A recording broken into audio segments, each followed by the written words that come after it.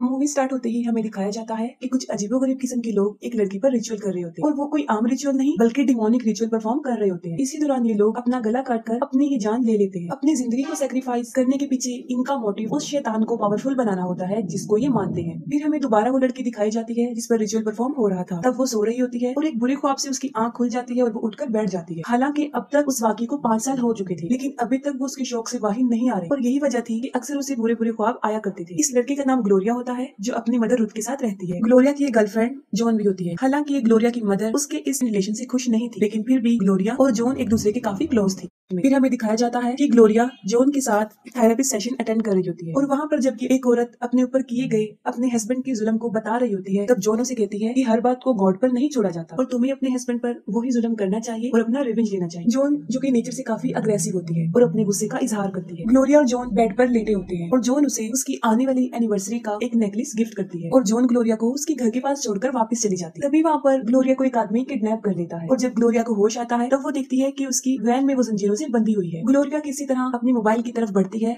और अपनी मदर को कॉल करती है। इसी दौरान वो किडनेपर ग्लोरिया को देख लेता है और उसे फेंट मेडिसिन से फिर से बेहोश कर देता है। बेहोश होने से पहले ग्लोरिया की चीख उसकी मदर के फ़ोन तक पहुँच जाती है। बेहोश होने से पहले ग्लोरिया उस किडनैपर के हाथ पर वही डेमोनिक साइन देख लेती है जो उस डेमोनिक ग्रुप के हर मेंबर के हाथ पर बना हुआ वो किडनैपर ग्लोरिया को सिटी से काफ़ी दूर जंगल में कैबिन में लेकर जाता है। फिर जोन उस लोकेशन पर पहुँच जाती है, जहाँ ज़ोर और ग्लोरिया लोगों को फ़ूड सप्लाई करते हैं। ग्लोरिया वहाँ पर मौजूद नहीं होती, जिसकी वजह से उसकी मदर को कॉल कर देती है। दूसरी तरफ़ ग्लोरिया की मदर, जो उसे पूरे घर में ढूंढ चुकी होती है, और उसके ना मिलने पर वो वही वॉइस मैसेज सुन लेती है, जिसमें ग्लोरिया की चीख होती है। फिर ये दोनों पुलिस से ग्लोरिया के किडनैप होने की बातें करते हैं, और जॉन ग्लोरिया की मिसिंग होने में उसकी मदर से भी ज़्यादा परेशान थी। और वो एक अग्रेसिव टोन में पुलिस ऑफिसर्स को ग्लोरिया को ढूँढने को कहती है, और खुद भी इस बात का डिसीज़न लेती है की वो भी ग्लोरिया को ढूंढेगी। वो चर्च में बहुत सारे लोगों को इकट्ठा करती है, और उनके ज़रिए ग्लोरिया को ढूँढने का फैसला करती है। दूसरी तरफ़ ग्लोरिया किसी फिर से बुरे बुरे ख्वाब आना शुरू हो जाते हैं। और जब उसे होश आता है तो वो उस किडनैपर को पहचान लेती है कि ये भी उनमें से एक है, जिन्होंने आज से पाँच साल पहले उस पर रिचुअल किया। किडनैपर उसे कहता है कि ये सब कुछ वो उसे सेव करने के लिए कर रहा है और वो उसे लिमिटेड टाइम के लिए यहाँ पर रखेगा और जब खतरा खत्म होगा तो वो उसे यहाँ से आज़ाद कर देगा। लेकिन ग्लोरिया को उसकी बातों की कुछ समझ नहीं आ रही फिर कुछ टाइम गुजरने के बाद ग्लोरिया उस आदमी से पूछती है की वो उसके साथ ऐसा क्यों कर रहा है? वो कहता है की पाँच साल पहले जब तुम पर रिचुअल हो रहा था, तब मैंने तुम्हें देखा था।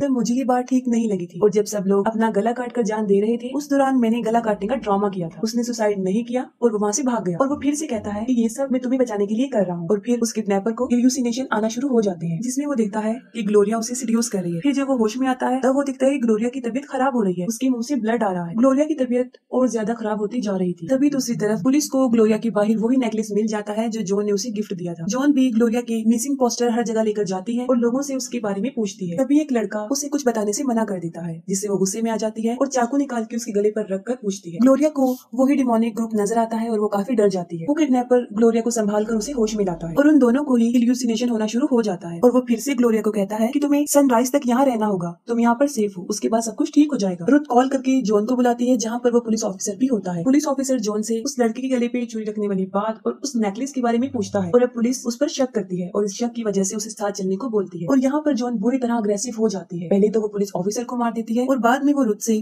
ग्लोरिया के बारे में पूछकर उसे भी मार डालती है। वहाँ ग्लोरिया की हालत बुरी से बुरी होती जा रही थी और वो किडनैपर से उसका नाम पूछती है, तब वो कहता है की मेरा नाम थॉमस है और वो पूछती है की उसके साथ ही क्या हो रहा है। वो कहता है की पाँच साल पहले तुम्हें किडनैप करके जो रिचुअल तुम पर किया गया था, वो शैतान गोट एविडन को इस दुनिया में लाने के लिए किया गया था और वो रिचुअल लोकस मून की रात को किया जाता है और आज भी लोकस मून की ही रात है। आज रात फिर से रिचुअल होगा और एबिडोन को इस दुनिया में लेकर आया जाएगा और इस मकसद को सामने रखते हुए उन लोगों ने ग्लोरिया को अपना सोर्स बनाया है, जिस पर वो कहती है की वहाँ पर तो सब लोगों ने अपनी जान दे दी थी, जिस पर वो कहता है की सबने अपनी जान नहीं दी और जॉन, जो अभी तक ग्लोरिया को सर्च करने के लिए लोगों को इंजिस्ट कर रही होती है। फिर जॉन अपने घर में एक सीक्रेट प्लेस में जाती है, जहाँ उस शैतान एबिडोन की डमी होती है और शैतान एबिडोन से माफ़ी मांगती है कि ग्लोरिया उससे गुम हो चुकी है और इस बात के लिए वो खुद को पनिश करती है। और यहाँ पर एक बड़ा राज खुलता है। वो ये है की जॉन वे उस शैतानी ग्रुप की मेंबर थी और वो ग्लोरिया से प्यार नहीं करती थी, बल्कि वो लोकस्ट मून जो की आज की रात थी, उस रिचुअल में शामिल होकर ग्लोरिया को अपना सोर्स बना के शैतान को दुनिया में लाना चाहती थी। और यही वजह है कि वो इतनी दिलचस्पी से ग्लोरिया को ढूंढ रही होता है। ग्लोरिया के बैक में पेन होता है और जब थॉमस देखता है तो वो देखता है कि उसके बैक में दो होल बन चुके हैं। और ये देखकर वो काफ़ी डर जाता है और वो दूसरे रूम में चाकू लेने जाता है, जिससे कि वो ग्लोरिया को मार के इस कहानी को भी खत्म कर लेकिन ग्लोरिया उसके पास आकर उसे सिड्यूस करती है और वो दोनों एंटीबेट हो जाते हैं। और वहीं पर ग्लोरिया एबिडोन में बदल जाती है। एबिडोन को देखकर थॉमस काफ़ी डर जाता है और फिर अचानक से वो देखता है की वहाँ पर कोई भी नहीं और इसकी वजह ये है की जब उस पर रिचुअल किया गया था, तभी से शैतानी असर उसके ऊपर मौजूद है। और यही वजह है की ग्लोरिया के अंदर जो शैतान है, वो थॉमस को ग्लोरिया को वार्निंग नहीं दे रहा है, क्योंकि ग्लोरिया को तो उन्होंने अपना सोर्स बनाया है जिसकी वजह से एबिडोन इस दुनिया में आएगा। ग्लोरिया उसे कहती है की मुझे डॉक्टर के पास लेकर जाया जाए। थॉमस उसे कहता है की नहीं, ये नहीं होगा। जोन को पता चलता है एक आदमी ने ग्लोरिया के घर के पास एक वैन को देखा था और उस वैन के ड्राइवर के चेहरे पर जलने का निशान था। और जिस डायरेक्शन में वो गया है, वो उसका भी बता देता ये सुनकर जॉन फ़ौरन समझ जाती है और वो अपने फ्रेंड के साथ उसी डायरेक्शन में चल पड़ती है। हकीकत सामने आती है कि थॉमस जॉन का भाई होता है और जिस कैबिन में ग्लोरिया को लेकर आता है, वो उनका फैमिली कैबिन होता है। ग्लोरिया थॉमस को कहती है की वो जॉन से मिलना चाहती है। तभी थॉमस उसे सब बातें बता देता है और ये भी बताता है की ग्लोरिया ने ही उसका फेस जलाया था और उसके पाँव को टुड़वा दिया था। और कहता है की जॉन तुम्हें ही ढूंढ रही होगी, क्योंकि और वो ही चाहती है की एबिडोन इस दुनिया में आ जाए और